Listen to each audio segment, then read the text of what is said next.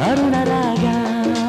ಇಂತಹ ಮಧುರ ಹಾಡುಗಳನ್ನು ಕೇಳಿದವರಿಗೆ ತಕ್ಷಣಕ್ಕೆ ನೆನಪಾಗುವ ಹೆಸರು ಕೆ ವಿ ಜಯರಾಮ್. ಇದರೊಂದಿಗೆ ಅರುಣರಾಗ, ಹೊಸ ನೀರು ಬಾಡದ ಹೂ, ಮುದುಡಿದ ತಾವರೆ ಅರಳಿತು, ರಂಜಿತ ಎಂಬ ಸಿನಿಮಾಗಳು ನೆನಪಾಗದೇ ಇರದು. ದೊರೆ ಭಗವಾನ್ ಪುಟ್ಟಣ್ಣ ಕಣಗಾಲ್ ನಂತರ ಎಂಬತ್ತರ ದಶಕದಲ್ಲಿ ಕಾದಂಬರಿ ಆಧಾರಿತ ಸದಪರಿಚಯ ಕನ್ನಡ ಸಿನಿಮಾಗಳ ಜನಪ್ರಿಯ ಹೆಸರು ಕೆ ವಿ ಜಯರಾಮ್. ಮುಂಜಾನೆ ಮೂಡಿದ ಹಾಗೆ ತಂಗಾಳಿ ತೀಡಿದ ಹಾಗೆ.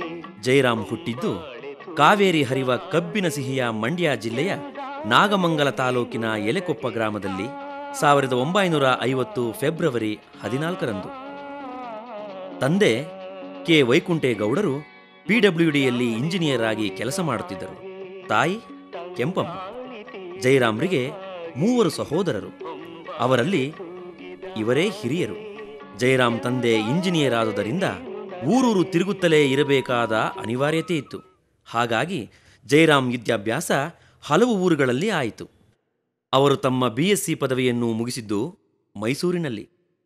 ಅವರ ಚಿತ್ರಜೀವನ ಆರಂಭವಾಗಿದ್ದು ಮೈಸೂರಿನಲ್ಲೇ. ಪ್ರಸಿದ್ಧ ನಿರ್ದೇಶಕ ಎಂ ಆರ್ ವಿಠಲ್ರವರ ಬಳಿ ಕೆಲಸ. ಪ್ರೀಮಿಯರ್ ಸ್ಟುಡಿಯೋ ಒಡನಾಟ ಅವರ ಆರಂಭ. ಪ್ರೀಮಿಯರ್ ಸ್ಟುಡಿಯೋದಲ್ಲಿ ಕೆಲಸ ಕಲಿತಿದ್ದು ಸಿನಿಮಾ ಸಂಕಲನದಲ್ಲಿ. ಅವರಿಗೆ ಆ ಕೆಲಸ ಕಲಿಸಿದ ಮೊದಲ ಗುರು ಸಂಕಲನಕಾರ ಚಿನ್ನಪ್ಪನವರು. ಬಳಿಕ ಖ್ಯಾತ ನಿರ್ದೇಶಕ ಎಂ ಆರ್ ವಿಠಲ್ ಬಳಿ ಸಹ ನಿರ್ದೇಶಕರಾಗಿ ಕೆಲಸ ಮಾಡಲು ದಾರಿಯಾಯಿತು. ವಿಠಲರ ಪರಿಚಯ ಜಯರಾಮ್ ಅವರಿಗೆ ಆಗಿದ್ದು ಸುಮಾರು ಸಾವಿರದ ಒಂಬೈನೂರ ಅರವತ್ತೈದರಲ್ಲಿ ಎಂ ಆರ್ ವಿಠಲ್ರ ಬಳಿ ಬಾಳಪಂಜರ, ಯಾರು ಸಾಕ್ಷಿಯಲ್ಲಿ ಜೈರಾಮ್ ಕೆಲಸ ಮಾಡಿ ಸಿನಿಮಾ ನಿರ್ಮಾಣದ ಹಲವು ಹಂತಗಳನ್ನು ಹತ್ತಿರದಿಂದ ನೋಡಿದ್ದು ಮುಂದೆ ಕೆಲಸ ಮಾಡಲು ಅನುಕೂಲವಾಯಿತು. ಸೊ, ಅವರು ಪ್ರೊಫೆಷನ್ನೇ ಇಂಪಾರ್ಟೆಂಟು ಅವ್ರ ಫ್ಯಾಮಿಲಿಗೆ ಯಾವಾಗಲೂ ಜಾಸ್ತಿ ಸ್ಕೋಪ್ ಕೊಟ್ಟವರೇ ಅಲ್ಲ. ಅಂದರೆ ದುಡ್ಡು, ಕಾಸು, ಏನು ಬೇಕೋ ಎಲ್ಲ ಅರೇಂಜ್ ಮಾಡ್ತಾ ಇದ್ರು. ಬಟ್ ಆ ವಿಚಾರದಲ್ಲೂ ಅವ್ರು ಜಾಸ್ತಿ ಇನ್ವಾಲ್ವ್ ಆಗ್ತಿರ್ಲಿಲ್ಲ. ಬಟ್ ನಾವು ಫ್ರೀ ಬಿಡ್ತಾ ಇದ್ವು ಅವ್ರಿಗೆ. ಯಾಕೆಂದ್ರೆ ಸ್ಕ್ರಿಪ್ಟ್ ಮಾಡಿ, ಅವ್ರು ಒಳ್ಳೆ ಪಿಕ್ಚರ್ ಮಾಡಿ ಬಹಳ ದೊಡ್ಡ ಹೆಸರು ಮಾಡಬೇಕು ಅನ್ನೋದು ಅಷ್ಟೇ ನನ್ನ ಇಂಟೆನ್ಷನ್ ಇದ್ದಿತ್ತು ಅದರಿಂದ ನನ್ನ ಮನೆ ವಿಚಾರದಲ್ಲಿ ಅವ್ರನ್ನ ಯಾವುದಕ್ಕೂ ಕರಿತಾ ಇರಲಿಲ್ಲ. ತೀರ, ನೀನೊಂದು ತೀರಾ, ಮನಸ್ಸು ಮನಸ್ಸು ದೂರ.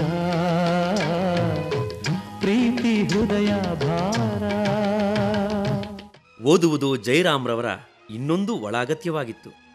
ಅವರಲ್ಲಿ ಸುಮಾರು ಎರಡು ಸಾವಿರಕ್ಕೂ ಹೆಚ್ಚಿನ ಪುಸ್ತಕಗಳು ಇದ್ದವು.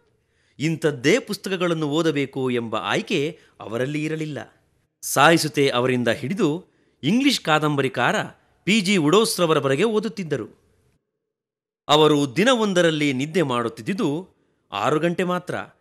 ಓದು ಹಾಗೂ ಕೆಲಸದಲ್ಲಿ ಉಳಿದ ಸಮಯವನ್ನು ಕಳೆಯುತ್ತಿದ್ದರು. ಸಂದರ್ಶನವೊಂದರಲ್ಲಿ ನಿಮ್ಮ ನೆಚ್ಚಿನ ಕತೆಗಾರರು ಯಾರು ಎಂಬ ಪ್ರಶ್ನೆಗೆ ಅವರು ತಟ್ಟನೆ ಹೇಳಿದ್ದು ಕನ್ನಡದ ಮುಖ್ಯ ಕತೆಗಾರ್ತಿ ವೀಣಾ ಶಾಂತೇಶ್ವರರ ಹೆಸರನ್ನ. ವೀಣಾ ಅವರ ಕತೆಗಳನ್ನು ಸಿನಿಮಾಕ್ಕೆ ಅಳವಡಿಸುವುದು ಕಷ್ಟ, ಆದರೆ ಅವರ ಬರಹದಲ್ಲಿನ ಸಮಗ್ರತೆ, ಗಂಭೀರತೆ ನನಗೆ ತುಂಬಾ ಇಷ್ಟ ಎಂದು ಹೇಳಿಕೊಂಡಿದ್ದಾರೆ. ಇದಲ್ಲದೆ ಅವರ ಎಂದಿನ ನೆಚ್ಚಿನ ಲೇಖಕಿ ಸಾಯಿಸುತೆ ಅವರ ನಾಲ್ಕು ಕಾದಂಬರಿಗಳನ್ನು ಸಿನಿಮಾ ಮಾಡಿದ್ದಾರೆ. ಅವು ಬಾಡದ ಹೂ ಶ್ವೇತ ಗುಲಾಬಿ ಮಾಧುರಿ ಇಬ್ಬನಿ ಕರಗಿತು. ಅಂತಾರಾಷ್ಟ್ರೀಯ ಚಲನಚಿತ್ರೋತ್ಸವದಲ್ಲಿ ಸತತವಾಗಿ ಇಪ್ಪತ್ತೈದು ವರ್ಷ ಭಾಗವಹಿಸಿ ಸಿನಿಮಾ ವೀಕ್ಷಿಸಿದ ಕೆ ವಿ ಜಯರಾಮ್ರವರಿಗೆ ರಾಜ್ ಕಪೂರ್, ಗಿರೀಶ್ ಕಾಸರವಳ್ಳಿ, ಡೇವಿಡ್ ಲೀನ್ ಅತ್ಯಂತ ಮೆಚ್ಚಿನ ನಿರ್ದೇಶಕರಾಗಿದ್ದರು. ದಕ್ಷಿಣದ ನಿರ್ದೇಶಕರಲ್ಲಿ ಸಿಂಗೀತಂ ಶ್ರೀನಿವಾಸರವರನ್ನೂ ಕೂಡ ಅವರು ಮೆಚ್ಚಿಕೊಂಡಿದ್ದರು. ಅಮಿತಾಬ್ ಬಚ್ಚನ್ ನಟಿಸಿರುವ ಶೋಲೆ ಅವರ ಮೆಚ್ಚಿನ ಸಿನಿಮಾಗಳಲ್ಲಿ ಒಂದಾಗಿತ್ತು. ಜುಯಲ್ ಥೀಫ್ ಮತ್ತು ಗೈಡ್ ಅವರ ನೆಚ್ಚಿನ ಸಿನಿಮಾಗಳು. ನಿರ್ದೇಶನದಲ್ಲಿ ಪುಟ್ಟಣ್ಣನವರೇ ಇವರಿಗೆ ಆದರ್ಶ. ಪುಟ್ಟಣ್ಣ ಕೂಡ ಹೆಣ್ಣಿನ ಅಂತರಂಗವನ್ನು ತೋರಿದ ನಿರ್ದೇಶಕರಾಗಿದ್ದರು. ಹೆಣ್ಣಿನ ಸ್ವಾತಂತ್ರ್ಯ ವ್ಯಕ್ತಿತ್ವದ ಬಗ್ಗೆ ಹೆಚ್ಚಿನ ಒತ್ತನ್ನು ನೀಡುತ್ತಿದ್ದ ಜಯರಾಮ್ರವರು ಅದನ್ನು ತೆರೆಯ ಮೇಲೂ ಮೂಡಿಸುವಲ್ಲಿ ಸಫಲರಾಗಿದ್ದಾರೆ.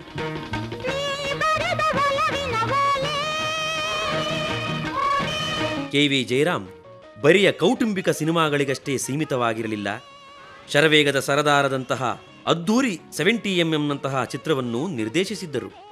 ಮತ್ಸರ, ಒಲವಿನ ಆಸರೆ ಕೂಡ ಸಾಹಸವಾದ ಸಿನಿಮಾಗಳು. ರಿಮೇಕ್ ಸಿನಿಮಾಗಳನ್ನು ಮಾಡುವುದಕ್ಕೆ ಜೈರಾಮ್ ವಿರೋಧಿಯಾಗಿದ್ದರು. ನಾನು ರಿಮೇಕ್ ಮಾಡುವುದಿಲ್ಲ. ನಮ್ಮ ಸಿನಿಮಾಗಳನ್ನೇ ಬೇರೆಯವರು ರಿಮೇಕ್ ಮಾಡುವ ಹಾಗೆ ಆಗಬೇಕು ಎನ್ನುತ್ತಿದ್ದರು. ಶ್ವೇತಗುಲಾಬಿ ನಿರ್ಮಿಸುವ ಮೂಲಕ ನಿರ್ಮಾಪಕರೂ ಆದರು. ತಮ್ಮ ಶ್ರೀ ಜಯದುರ್ಗಾ ಕಮ್ಮೈಸ್ ಲಾಂಛನದಲ್ಲಿ ಇದನ್ನು ಅವರು ನಿರ್ಮಿಸಿದ್ದು, ತಮ್ಮ ಪತ್ನಿ ಮೀನಾಕ್ಷಿ ಅವರೊಂದಿಗೆ ಹತ್ತು ಸಿನಿಮಾಗಳನ್ನು ನಿರ್ಮಿಸಿದ್ದಾರೆ. ತಮ್ಮ ಪತ್ನಿ ಅವರಿಗೆ ನಿರ್ಮಾಣದ ಜವಾಬ್ದಾರಿಯನ್ನು ಕೊಟ್ಟು ಅದನ್ನು ನಿರ್ವಹಿಸಿಕೊಂಡು ಹೋಗುವಂತೆ ಮಾಡಿದ್ದರು. ಜಯರಾಮ್ರವರೇ ಹೇಳುವಂತೆ ಅವರ ಶಕ್ತಿ ಅವರ ಪತ್ನಿ ಮೀನಾಕ್ಷಿಯಾಗಿದ್ದರು ಅವರು ಜಯರಾಮ್ ಬೆನ್ನೆಲುಬೂ ಆಗಿದ್ದರು. ಸಿನಿಮಾ ನಿರ್ಮಾಣದ ಎಲ್ಲ ಕೆಲಸಗಳಲ್ಲಿ ಅವರು ಭಾಗಿಯಾಗಿ ಕೆಲಸ ಮಾಡಿದವರು.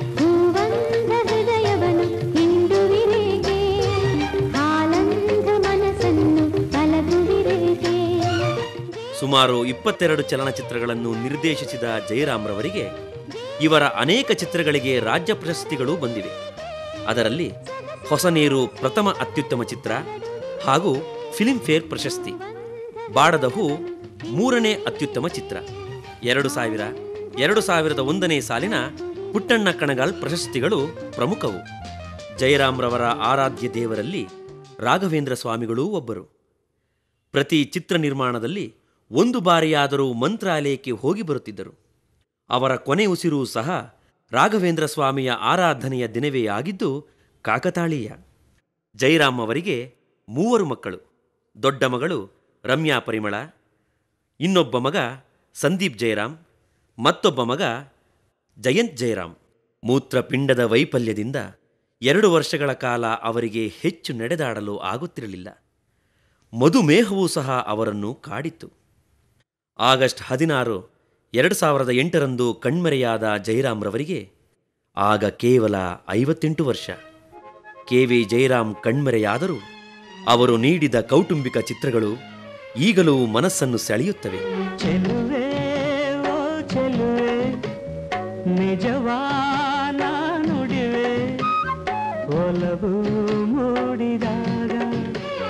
ಹೃದಯ ಹಾಡಿದಾಗ.